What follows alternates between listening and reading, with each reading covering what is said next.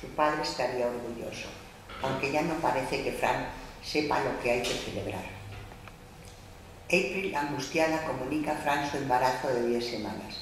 Esto no tiene que impedir que nos vayamos. Antes de 12 semanas se puede solucionar. Tenemos tiempo.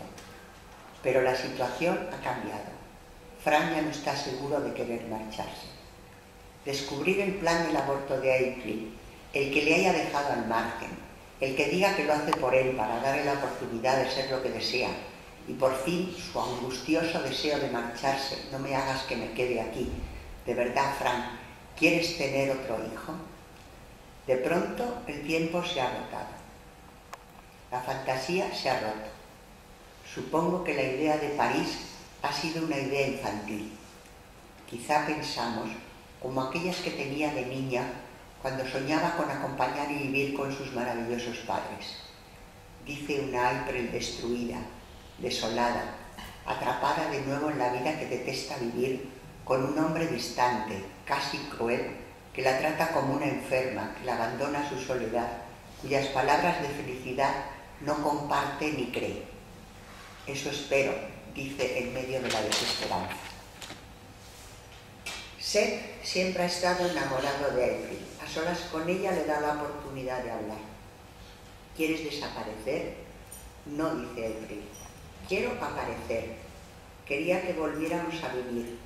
Durante años creí que compartíamos un secreto, que haríamos algo grandioso en la vida. La sola posibilidad me llenaba de esperanza. ¡Qué estupidez!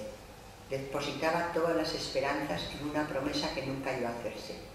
Frank sabe lo que quiere, ha encontrado su sitio, está a gusto, casado con dos hijos.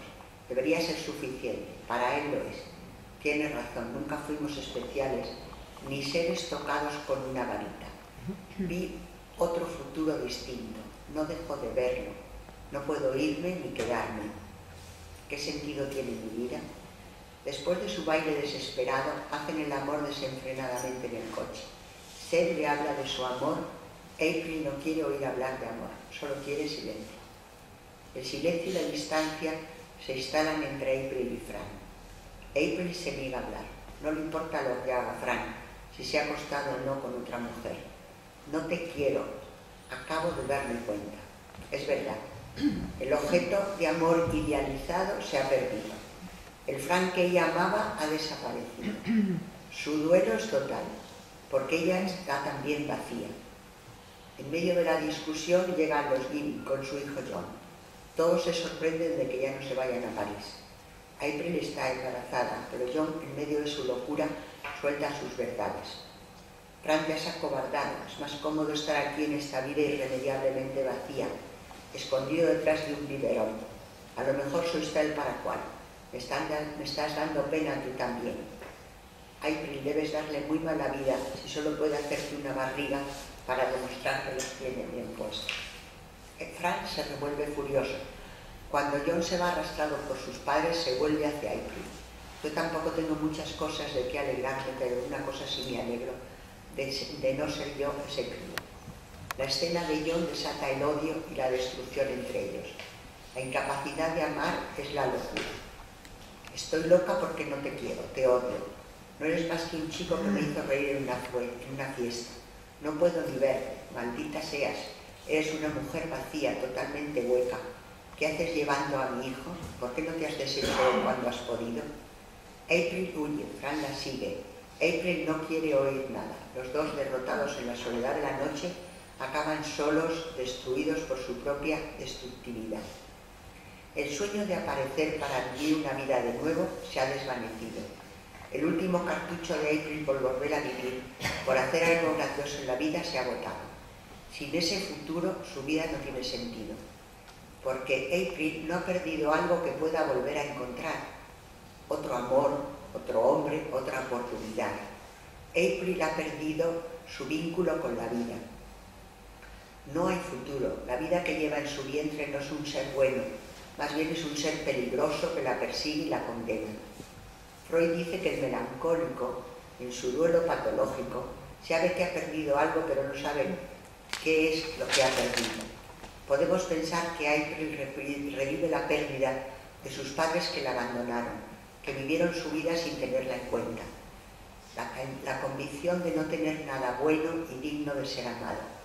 Grita su odio, su destructividad hacia aquel que ha destruido su fantasía de dar la vida a alguien grandioso, un Fran que le devolviera una imagen de ella plena, no vacía ni hueca.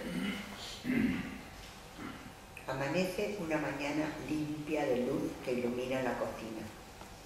Fran entra temeroso y tímido.